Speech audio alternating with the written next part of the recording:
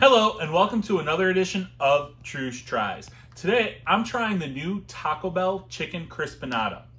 So, I'm not sure what a Crispanada is. It looks kind of like an empanada, um, but it's supposed to be filled with chicken and possibly cheese. Also came with this sauce. I'm not sure what the sauce is supposed to be. Um, looks maybe like a spicy ranch. Let's find out. Smells kind of like a spicy ranch.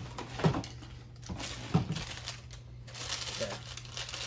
So this is our crispity chickeny thing. We're gonna dunk it in here. Take a big old bite. Mmm. Oh, oh my.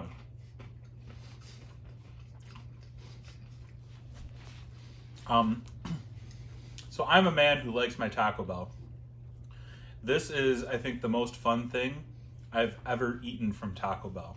The crunch on this was amazing. Um, it reminds me of like fair food. It's, I mean, obviously it's deep fried.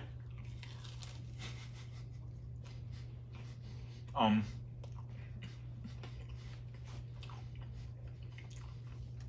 It's chickeny and cheesy. I like this a lot. This gets a huge thumbs up.